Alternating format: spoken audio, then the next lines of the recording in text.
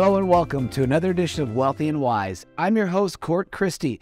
Today, we're going to be talking about how you can achieve financial privacy, not to hide things, but lowering your level of exposure and how to gain some level of anonymity in your life for many reasons. And I brought in an expert to talk about financial privacy. I have Adam Kinte, one of our senior consultants at NCH. And Adam has been helping entrepreneurs, investors for over 15 years now form business structures and set up their lives in a way to allow them a level of financial privacy. Adam, uh, welcome to the program today. Thank you for having me, Cort. So, financial privacy, when we talk about that, you know, how do you differentiate from somebody trying to protect maybe their assets versus somebody trying to hide something? Let's start with that. Yeah. So the question always becomes who are you trying to hide from?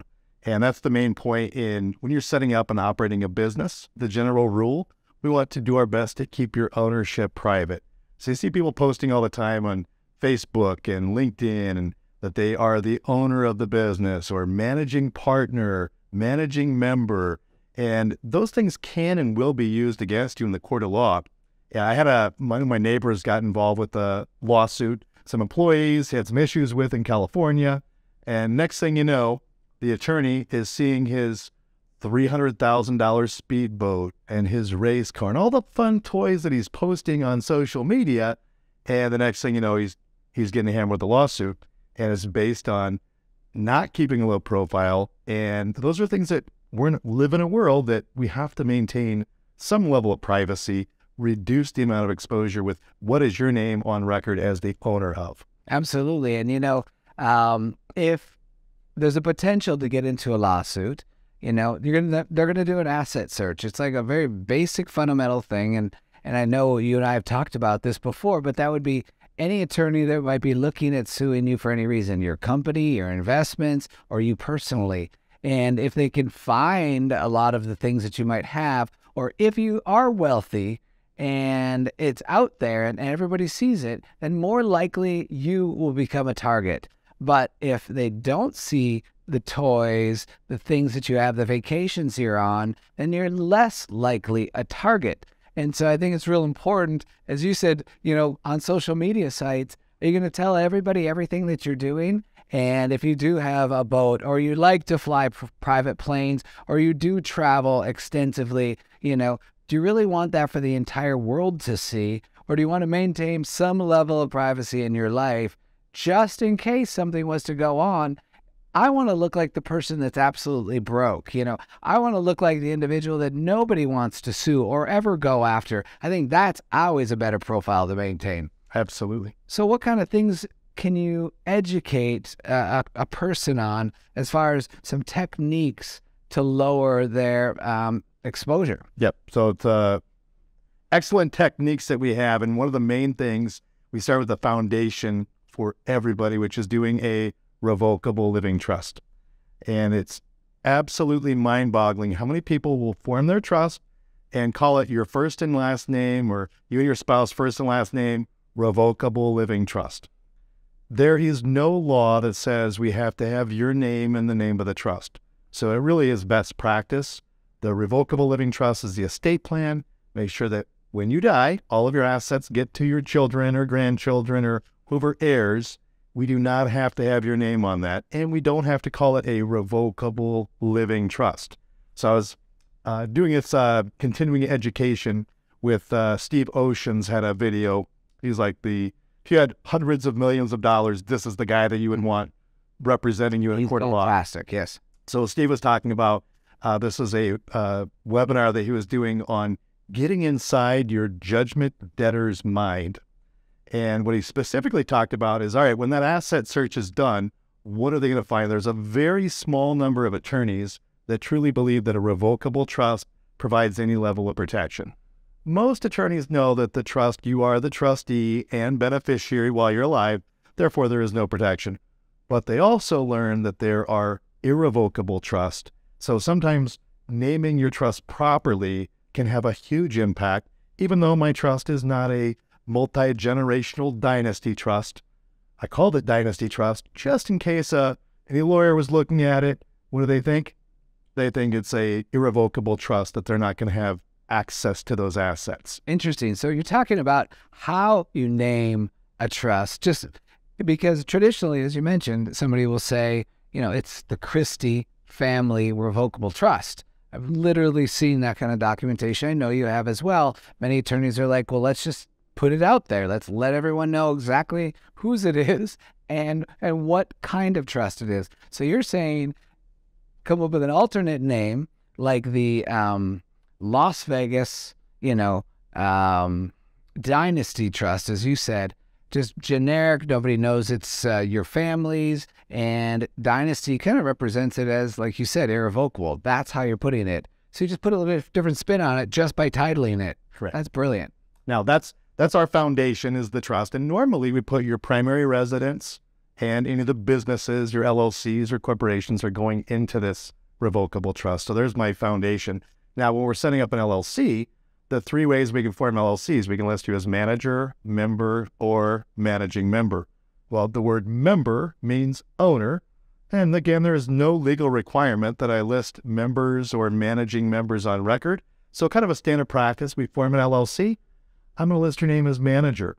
And so long as you understand the law, which is, yeah, my name is showing up on public record as the manager of the LLC, but if I'm signing contracts and agreements, I would never sign an agreement as an individual. I'm always acting through the LLC under the protection of the LLC. And by signing as manager, we have statutes that we are indemnified where we cannot be held personally liable acting as officer, director, shareholder, agent, or employee of the company so long as we're operating through that business. So that little piece right there, keep your membership private. It doesn't go on public record. So be the manager, right? The responsible party for maybe operating the company, running the company, but doesn't tell anyone about your ownership interests. You could be a hired gun. You could be just brought in to run the day to day, like any big corporation. As a CEO, they they may have some shares, but they don't own the majority of the company. They're just you know one of thousands of shareholders, right? They just happen to have a title within the organization. So by not calling yourself a uh, a member you're strictly the person running it, but not necessarily owning it. So that's another level.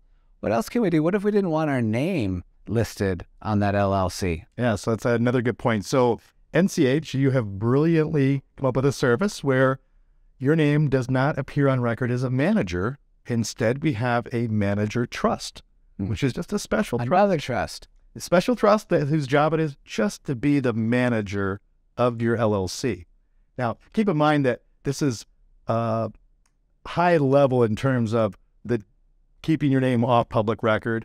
And at the end of the day, they start peeling back the layers. They most likely are going to find you in there somewhere, but it makes it very difficult for someone to do a quick search and figure out what your name is on. So having a manager trust in place is a great way to provide, again, one less thing that your name is on. You're not even record as a manager well, you bring up a good point because, you know, so that the audience listening today, Adam, understands this, let's go back to the house, right? If somebody wants to find out who owns that house on that corner, they go into the county and they can type in on the rec- county recorder's office that address of that house, and boom, it's going to pop up exactly who owns it, who's the owner of that property. So if you had it in your living trust, as we talked about, under a name that wasn't your last name, they're not going to know who the actual owner is. It's just a trust name. In the same way with the LLC, is you go into the Secretary of State's office of any state and you pull up the name of the LLC that you're looking at, and you can find out um, who's the person behind that, at least as potentially a owner or as the manager of that LLC. Or in reverse, what if somebody just wanted to find out what Adam Kinte owns and you were able to pull up his name in the state of Nevada Secretary of State's office, you'd see any time Adam may have owned an LLC in the past or currently as well. So, what you're saying with this trust is it's an overlay. It doesn't provide perfect privacy, but it provides privacy from anybody just trying to dig around, trying to snoop, trying to see what you own and what you have. You know, ultimately, if you get caught up in major legal action, um, it, it's going to get exposed that you have ownership interests, right? But we're talking about like state databases, city databases, county databases, places where people could just want run queries on you and what assets you have and lowering your profile in that public sector where people are just digging around and snooping, frankly. Yep. Now the and then the question of who we're providing this privacy from, and I always remind people so people that need to know that you own a business, hard money lender, private money lender, bank, the IRS, of course. So a bank, know your customer. They have to know who owns this company. So there's certain places where your name is absolutely going to be showing up. When you file your taxes, again, your your name shows up on your tax return. So the IRS, of course, knows these things. So it's maintaining a level of privacy from the prying eyes, possibly the ex-spouse, bad business partners. Um, like you said, just keeping an overall lower profile. So and of course, attorneys who are digging around, maybe to try to figure out who owns that business, who owns that property. You know, maybe you have multiple rental properties and somebody's looking to go after the owner of that property. Well, let's just not make it easy for them. You know, you lower your exposure, you lower your likelihood of getting involved in litigation. It's just simply that easy. I agree. Now, and also from a credit standpoint, so the, the things I remind people, you can have privacy or you can have credit.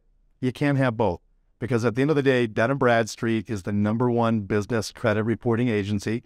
They need to know who you are, where your company is, the physical address. So to cut down on fraud, they do a lot of research to make sure you are a real business. And oftentimes people, they want the privacy, they don't want to put their address on record. But then Dun & Bradstreet looks at it and says, nah, you're not really a real business. You have a virtual address. Uh, you don't have a real phone number that works. You're using a cell phone. We don't think a business looks like that. So being mindful of those things as well, you look at the big picture and the privacy is going to go so far, but when we start getting credit, getting into lending institutions, then your name's going to go. So no way, there's no perfect way to go about this. If you're looking for money to pay for a property or to raise capital for a business, you know, you probably want to be front and center when uh, I'm sitting here talking to all of you as the CEO of NCH, I'm letting the world know that I'm the CEO. But interestingly enough, I am not the owner of NCH. That is in a trust and a generational trust that's been set up for future generations. So that won't correspond.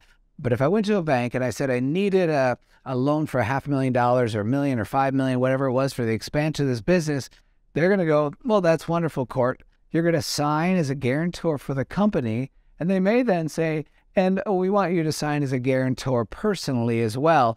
And depending on what kind of assets the company has or the credit score of the company, fortunately, NCH can handle that kind of uh, assurance. But in many cases, you have to sign personal guarantees, even if you've already put the ownership somewhere else. So it, it sometimes is complicated. But I think in this case, is there are many ways I want to point out to our audience, Adam, that you can achieve high levels of financial privacy from individuals trying to dig into your life or see who owns something that's out there. And it's very achievable. It's actually quite inexpensive when you consider it.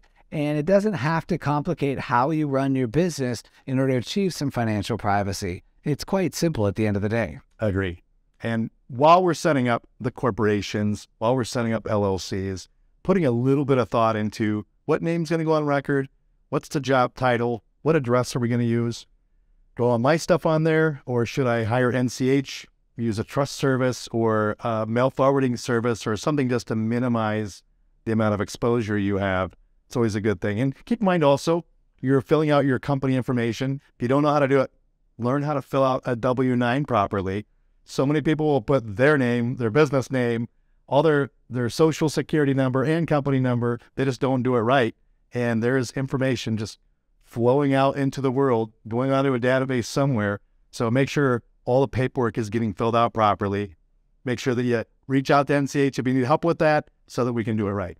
So we live in a very public age today, and there are ways that you can achieve a level of financial privacy in your life. So take advantage of some of these ideas that Adam's brought to the table. And better yet, if you're looking to achieve some financial privacy in your life, talk to Adam, talk to one of our team members at NCH. We offer a free consultation We'll look at your current situation. Adam and others will look at where you're trying to go and how you want to put a structure together for yourself. And these guys are amazing that work on our team here at NCH to help you get to where you're trying to go. So, Adam, thank you very much for being on the program today. I appreciate it.